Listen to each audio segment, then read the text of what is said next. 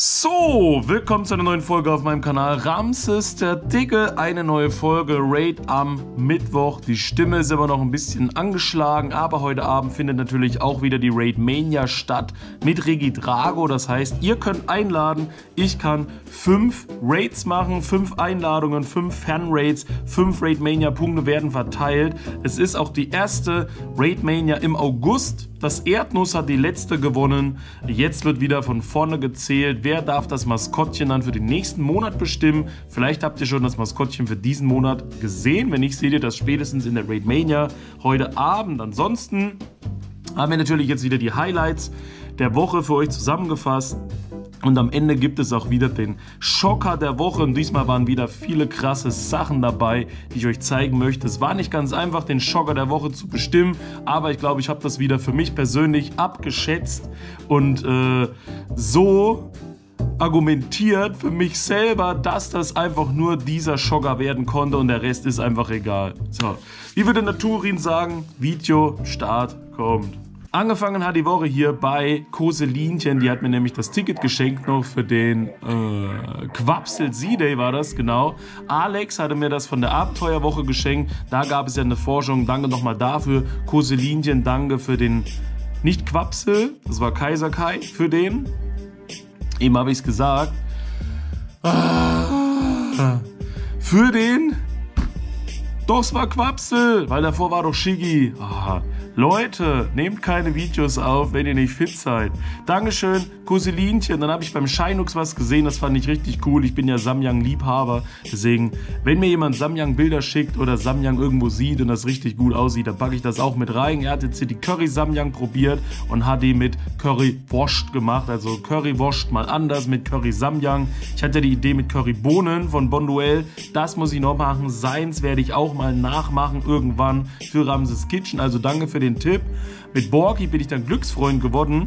Das Erdnuss, also unser geliebter Tobias Reuter, manche lieben ihn, manche hassen ihn. Für Raid am Mittwoch, falls es zeitlich noch passen sollte, Hätte als Maskottchen gerne ein Shiny Lapras. Jetzt wisst ihr ja schon, was das Shiny ist, äh, was das Maskottchen ist. Hat ja ein Shiny Fluffeluff gebrütet und gleichzeitig aus dem Riolo-Schlüpftag wohl acht Shiny Riolo bzw. eins ist schon zu Locario entwickelt. Vorbelastet, gerade aus einer alten Forschung bekommen, das Ponita mit dem Halstuch. Das ist gut.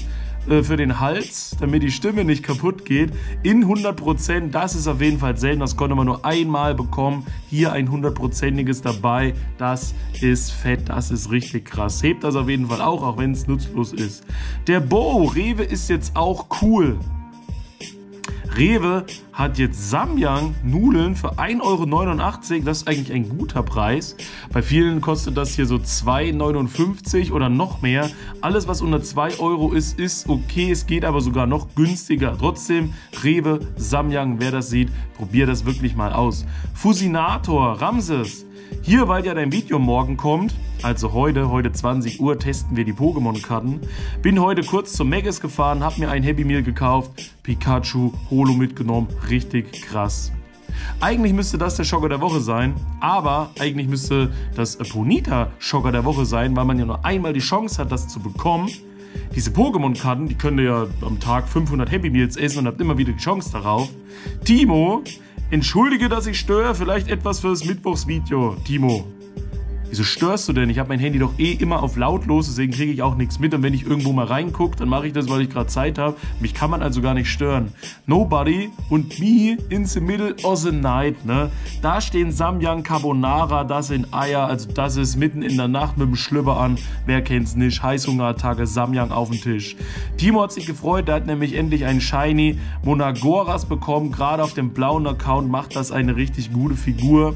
Amarino Shiny, auch am Start. Liljeb Shiny hat er hier bekommen, Flapterix in Shiny. Boldarus in Shiny, die Abenteuerwoche war wirklich krass, richtig genial. Läuft noch bis heute Abend 20 Uhr, glaube ich. War das ist eins der besten Events, die besten Spawns, die besten Pokémon seit langem. Shenaya zeigt uns ihre Ausbeute mit Aerokacksprühl, Anorid Ammonitas, Schilderus, Cognodon und Balgoras plus Amarino. Auch ordentlich abgesahnt. Gerade Balgoras, Amarino waren sehr begehrt, weil die auch das erste Mal da waren. Wer von dem Rest noch was gebraucht hat, konnte da zuschlagen. Shiny Aerokacksprühl, Skalyp, Anurid, Sichlor, Kabuto und dann nochmal drei hundertprozentige vom C-Day, Quabo Quaxo und ein Pichu gebrütet. 100er Pichu habe ich glaube ich nicht.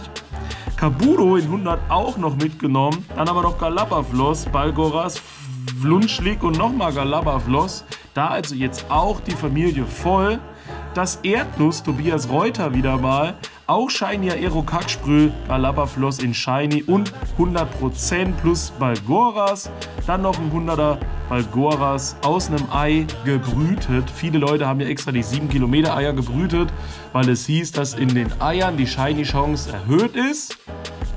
Das hat, glaube ich, aber so gut gar keiner gemerkt. Die meisten haben sich beschwert, dass sie 1000 Eier gebrütet haben und kein einziges Shiny dabei hatten und in der Wildnis haben sie einfach mehr bekommen. Also ich brüte sowieso gar keine 7 Kilometer Eier. Das passt mir nicht ins Konzept. Da brauchst du immer einen freien Eierplatz, musst ein Geschenk aufmachen, dann triggerst du noch irgendwas und dann. Ach, nee. Wenn das wild sitzt, dann möchte ich es wild bekommen. Da brüte ich dafür nicht Eier, denn das kostet Geld. 100er Purmel mitgenommen, 211 WP, auch noch bei das Erdnuss. Itch to Domo hat hier auch drei krasse Sachen rein, wo ich mir denke, das müsste doch eigentlich der Schocker der Woche sein. Ein hundertprozentiges Shiny Amarino. Glaub gebrütet, deswegen der, äh, die, nee, weiß ich nicht. Das ist gebrütet, sage ich jetzt einfach mal. Level 20, 100% Shiny Amarino. Ist das nicht krass? Ist das Schocker der Woche? Wir lassen es mal kurz so stehen. Ramaidon 100% im Glückstausch erhalten. Das ist auch brutal. Da ist auch Glück mit dabei. Plus Pam Pam. Und das ist auch, kannst du nicht gezielt. Da brauchst du auch Glück aus dem 12 Kilometer ein. Nur so zu bekommen momentan. Gab es auch mal in Raids. Momentan nur in den Eiern auf der Suche nach einem Shiny noch ein 100er mitnehmen. Also die drei Sachen zusammen das müsste eigentlich Schocker der Woche sein, aber irgendwie ist alles cool. Das Amarino natürlich das Highlight von den dreien. Ist aber trotzdem nicht Schocker der Woche für mich, auch wenn es richtig cool und stark ist. Paco, Shiny Yorkliff, Shiny Merrill, 100er Mangunio, Shiny Relaxo mitgenommen, Shiny Remorite mitgenommen. Dann ähm, Amarino in 100%, Amario Garga, Mario Dactyl, 100% Shiny, seht ihr schon kann das Amarino gar nicht mehr Schocker der Woche sein, denn es ist ein 100er Shiny. Und das ist auch ein 100er Shiny. Dann kannst du nicht sagen, das ist Schocker der Woche, dann müsste das andere ja auch sein, weil es ist, es muss aber was Einmaliges sein, was jetzt hier da dabei ist bei den Einsendungen. So, Bekannter von mir, haha, Relaxo. Relaxo mit Mütze aus der Sleep-Forschung von Pogo Crazy RWO, ich raste aus. Da habe ich erst gedacht, das wird Schocker der Woche, denn nicht jeder hat die Chance, dieses Relaxo zu bekommen. Wer es bekommt, kriegt es erstmal nur einmal, dann dauert es, bis man weitere kriegt. Aber beim ersten Relaxo, was er bekommen hat, direkt ein hundertprozentiges Relaxo. Faktisch könnte es aber jeder bekommen, das Relaxo, wenn man sich das Go Plus Plus Minus mal geteilt durchkauft. Und Du kriegst ja nicht nur einmal ein Relaxo, du kriegst ja insgesamt, glaube ich, fünf Relaxo. Damit hast du mehr Chancen, ein 100er Relaxo zu bekommen, als wenn du ein 100er Bonita bekommst aus der Forschung, die du nur einmal hast.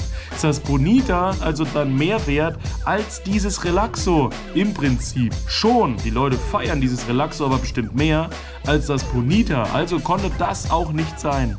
Pago weiter hier, Shiny Schilderus, Shiny Latias. Vielen Dank, Bro. Ach so, ja, der hat mitgemacht bei Raids für Zuschauer. Da haben wir am Wochenende auch kurz mal Mega Latias, Mega Latios eingeladen. Hat er einen Shiny gezogen. Shiny Liliep hier dann noch hinterher. 100% Despot da. Endlich. Glückwunsch dazu. Koselinchen. Shiny Kacksprühl und Mangunio haben beide die gleiche Shiny Farbe, nämlich so lila. Alexander Aringer. Endlich Daniel Schilling gefunden. Da steht kein endlich da, aber man muss sich halt dazu denken, dass er endlich meint. Und hab mit Daniel Schilling am Showcase teilgenommen. Das freut mich. Daniel auf Platz 37, Alex auf Platz 45. 40. Seine Seed-Ausbeute von Quapsel zeigt er uns ja auch noch. Fünf Stück insgesamt. Shiny Amarino mitgenommen. Endlich in Shiny Pokémon. Endlich 100er Liliep in Pokémon Go. Sarina. Um deine Stimme zu schonen, spiele ich heute den Schweigefuchs. 100er. So. Zielzeit. 100er. 100er. 100er, nochmal 100er, dann ein Shiny, dann nochmal ein Shiny, dann nochmal drei Shinies. Da habe ich es mir wieder leicht gemacht und mich herausgeredet. Ne? Was finde ich denn besonders cool? Ich glaube, das Seso Kids äh, in grün finde ich cool, weil das kommt so random einfach da rein, weil das ja nichts mit, dem, äh, Abend, mit der Abenteuerwoche zu tun hat. Ist aber halt einfach da. Ja, der Rest, Parfi sticht ein bisschen heraus, weil das eigentlich auch nicht so zur Abenteuerwoche gehört. Ansonsten viele Hunderter, viele Shinies, alles aus Meiningen und Umgebung. Hildburghausen ist auch dabei als Fangort. Finde ich sehr gut, dass Sarina hier immer in der Nähe rumhaust. Pogehanda hier 100er Amarino, Mobai, Ammonitas, Vili, Erlöst, Anorit und dann Shiny, Cognodon, Anorit, Flapterix, Ammonitas und Liliep für Raid am Mittwoch. Auch sehr nett, vor allem die 100er schmecken gut, das Mobai, was als Baby natürlich sehr selten ist. Shiny, Kacksprühl und Schilderus hat er auch noch mitgenommen. Net Ghost, habe ich erst gedacht, der liegt im Krankenhaus und ist der Monitor in der Ecke, aber das ist die Sicht aus der Badewanne und hat dann hier den Montagsstream geschaut. Andy Vorbeck, die Woche war ordentlich was los, Rameidung getauscht und ist mein zweites 100%. Liljeb, Balgoras, Shiny, dann Schwalbos und Ramaidon in 100%. Ramaidon? Ramaidon?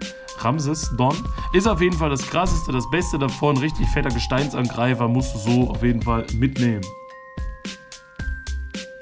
Erstmal gucken, was das Kind da draußen macht auf dem Balkon mit der Pizza, mit der fast vollen Pizza. Die schmeißt jetzt nicht echt die Pizza in den Mülleimer. Oh.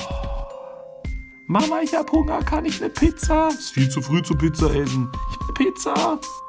Pizza fast voll in den Müll geschmissen. Andy Vorbeck. Und dann wundert ihr euch, wieso die Stimme so ist. Sonntagabend die Go-Kampfliga gespielt und bei zwei aufeinanderfolgenden Sets Shinies Gorgler bekommen. Das ist sehr schön. Ich spiele momentan ja keine Kampfliga, deswegen kann ich sowas auch nicht bekommen. Als Kind war ich ein riesengroßer Jurassic Park-Fan. Da war der Wunsch sehr groß, ein 100% Monagoras zu bekommen. Wunsch erfüllt, vor allem auch aus Güstrow. Das freut die Bianca bestimmt, falls sie das sieht. Grüße gehen raus. Sage ich ja immer, aber ja, aber ich glaube, sie sieht es nicht. Das hat hier 3128, sieht schon fett aus, ist noch nicht auf 50, da geht noch was. Ist auch ein guter Gesteinsangreifer. Gesteinsangreifer sind sowieso immer gut gegen diese ganzen fliegenden Kandovögel, die man so findet im Spiel. 100er aus der Quest bekommen und Showcase Meister. Meine Einreichungen für Raid am Mittwoch. Bisa Fan Enzo hier. Amara Gagaraba. Barbara, Rhabarber Barbara hier äh, bekommt ne, 100% dreimal Platz 1. Heute Abend endet die zweite Welle der Showcases von der Abenteuerwoche. Bisher bin ich auch bei drei Stück auf Platz 1. Ich hoffe, das bleibt so. Ich habe alle abgezogen. Das war sehr kompliziert.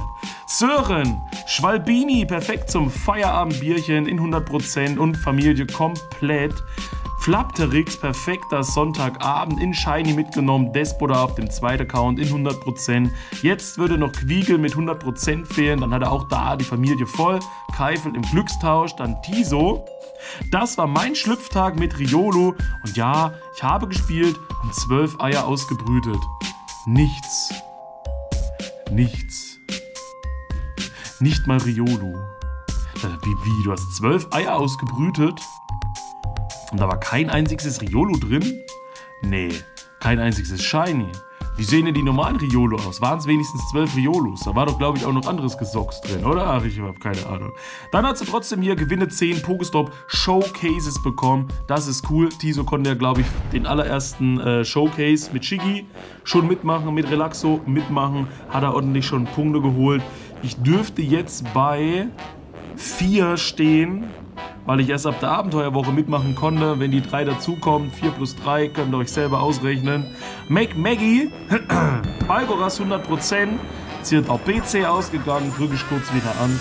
100er Balgoras mitgenommen, Kaiser Kai, Rihorn, Shiny Kaiser Kai. Endlich habe ich den auch, Liljep im Alexander Aringer Modus. Endlich! Kaiser Kai, ein weiteres 100er, was ich noch haben wollte, aber schon wieder auf dem falschen Account. Seemobs in 100. Wollte eigentlich nur mal ein paar Lokmodule loswerden, nehme ich aber gerne mit. Wetterbrust, Shiny, Lokmodul, Beere, Balgoras, Shiny, wunderbar, Kaiser Kai. Chill Boris, Amarino 1004 WP, God King Tidon, gerade einfach aus Langeweile getauscht, dann ein 100er bekommen. Besonders hatte ich den noch nicht als 100er. Passt, hat ja auch eine Mega-Entwicklung, wird dann auch irgendwie Typ Drache oder so, kann man cool was boosten, kann man trotzdem auch was mitmachen. Selal, Shiny Sandan wurde gefangen in der Wildnis. Despota, Shiny mitgenommen, tritt schon wieder auf Lego-Stein, so wie es aussieht. Litomyth, 100, Leuveo, Shiny, Ammonitas, Shiny, Koglodon, Shiny, Bediza, Shiny. Crypto Arctos Duo Raid, Shiny. Nein, aber Shiny Amarino hier aus dem Ei gebrütet. Feier erhöht. Miku, Shiny Kacksprühl, Amarino Galapafluss und hier ein Aeropaco. Sag mal, nennt ihr euch jetzt die Pokémon immer gegenseitig, wie die heißen, die vom anderen kommen? Duisburg, auf jeden Fall ein Aeropteryx in 100%. Dann noch Liljep, Nidoran in Shiny plus der Schocker der Woche. Guck dir das an. 100% Galalavados. Ist aber trotzdem nicht Schocker der Woche, weil in letzter Zeit tauchen immer wieder 100er Gala-Vögel auf, auch gerade im Glückstausch erhalten. Das heißt, beim ersten Mal ist das noch krass und jetzt sagst du schon wieder, wer es hat, freut sich, aber das ist jetzt nichts Neues, krasses. Es ist krass, aber es ist nichts Neues, krasses. Deswegen für mich nicht Schocker der Woche. Hannes, Shiny Flapterix, Kacksprühl, Schilderus, Knilz, aber schon wieder beim Benjamin Engel, da musst du aufpassen. Mega Despoda im Solo geschafft. Boss hatte Biss und Wirbler. 47 Sekunden Restzeit. Habt ihr auch Mega Despoda im Solo probiert? Schreibt es mal in die Kommentare. Benjamin Engel weiterhin. Kacksprühl Shiny. Kabuto Shiny. Balgoras Shiny. Pam Pam Shiny. Thomas Speck mit dem 100er Balgo Rass mitgenommen. Ein Samyang-Regal, da kosten die hier knappe 9 Euro. War mal günstiger, geht auch noch günstiger, geht aber auch viel teurer. Ich hätte Habanero Lime mitgenommen. Und die normalen. Und die Carbonara. Und die Käse. Ich hätte einfach alle mitgenommen, genau. Lenz Hart, was der Pokéball Plus so alles fängt. Shiny Schwalbini, dann hat er hier auch Shiny Amarino eingetütet. 43 Shiny Quapsel am C-Day. Benji. Irgendwie kam mir die WP bekannt vor, aber trotzdem 100%. Rodomurf. Schon vier Stück. Sechs, Stück wäre krass. Er hat vier Stück, ist ein guter Bodenangreifer, kann man mitnehmen. Auch Kacksprühl in Shiny mitgenommen. Das Shiggy war noch im Stapel mit Sonnenbrille in Shiny. Pandimos Shiny auch mitgenommen. Dann ein Fluffluff gebrütet. Ist geschlüpft, ja woher auch sonst. Schilderus auch als 100er und Shiny bekommen. Kabudo, die Pfeffi-Bohne auch noch. Dann Elge Kaiser. Ich hab's jetzt mal so, hab keinen Zusammenhang mehr, kriegen sie aber irgendwie trotzdem hin. Das müsste der Kaisi sein. Der Kaisi-Account, 100er, 100er, 100er aus der Quest oder so mit 700. Shiny, Shiny, Shiny, Shiny, Shiny. Dann kommt nicht der Kaisi, sondern die Paula Emperor 100er Noctusca, 100er hm, Legios aus dem Ei. Schön, dass es dabei steht. Legios auch gefühlt selten. In Event war das mal da. Ohne Event siehst du keins mehr, oder? Habt ihr das, wann habt ihr das letzte Mal ein Legios gesehen? Gibt's gar nicht mehr. Balgoras auch als 100%. Das war, wenn das Wild natürlich ein 100er war, kann man ja so bei, also wenn beide Level 30 sind, ist, sind die IV ja bei jedem gleich. Dem anderen Bescheid sagen, dass er sich das auch mitnimmt. Deswegen bei beiden natürlich das 100er. Dann Anurit auch noch mitgenommen als 100er. Shiny Schwalbini, Shiny Krypto, Kleinstein, Shiny Amoroso, Shiny Flapterix, Shiny Beditza, Kacksprühl, Schilderus, Bisasam, Little Blue, über den freue ich mich besonders, ne? Balgoras und Little White freue ich mich auch. In der Nähe von Jehu. Jehu steht da. äh, ja, das waren die Highlights der Woche. Jetzt kommt noch der. Ähm, äh, der Schocker der Woche, denn ihr wollt wissen, was der Schocker ist, nachdem schon so viele Schocker dabei waren, aber keiner davon Schocker geworden ist. Also, Schocker der Woche. Und der Schocker der Woche kommt diesmal von Haltet euch fest. Adi Schatz, alles Gute. Kein Adi da?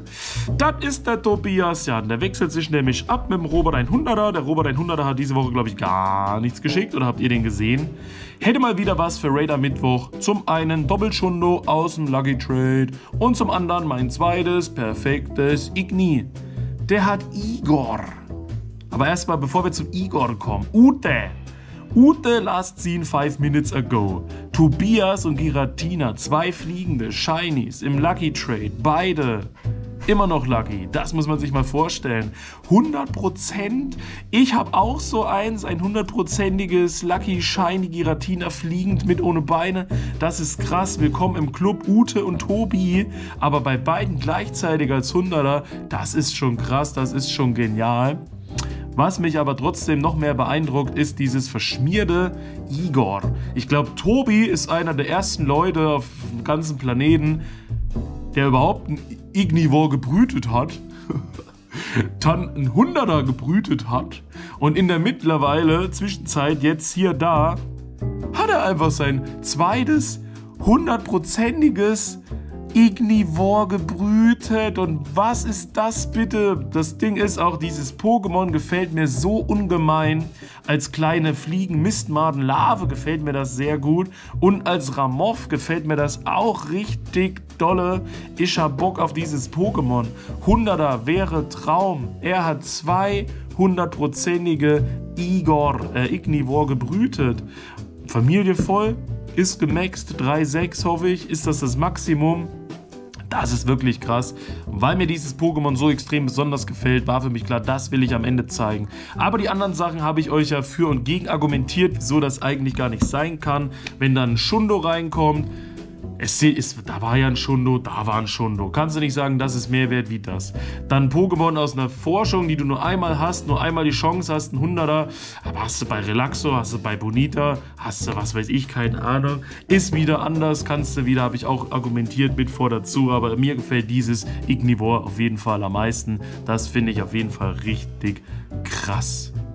Das war es jetzt von meiner Seite aus. Denkt dran, heute Abend einzuladen, wenn ihr unterwegs seid, Regitrago Raids macht. Mal gucken, ob wir überhaupt fünf Raids zusammenkriegen, wo ihr mich einladet, damit ich nochmal schön investieren kann. Das war's von meiner Seite aus. Bis heute Abend. Peace out, Vorhaut, euer Ramses.